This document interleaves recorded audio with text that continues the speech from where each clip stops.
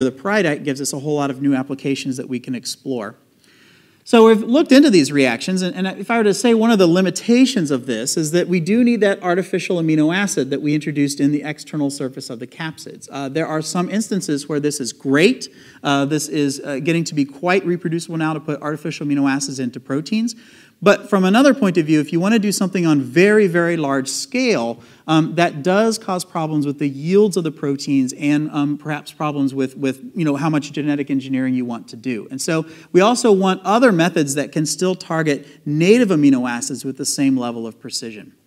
So um, there's another strategy that my lab has worked on for a number of years, probably about uh, eight years or so now, in terms of targeting native functionality on proteins. And what that is, is the N-terminus of proteins. Um, so we have three different ways to do this uh, that we've already reported, but um, here's one of our new ones. This is actually a version of our oxidative coupling. If I just go back, remember this is anilines adding to these aminophenols.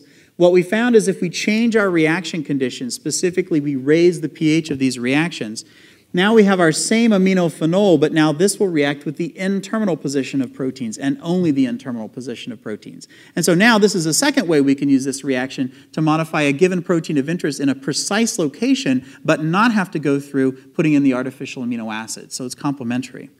Um, so this gives a variety of products. Um, just to sort of show, this works particularly, this is a terrible color, but this yellow color here shows this is a very, very fast reaction reaching completion in about 10 or 15 minutes most of the time when proline is at the N-terminus of the, pro, of the proteins. It's actually particularly fond of proline in that position.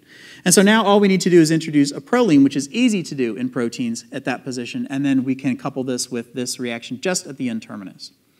So in the last couple minutes, I just want to show what we would use this type of reaction for, because again, um, you know, we lack the ability to put this anywhere we want. It's got to be at the end.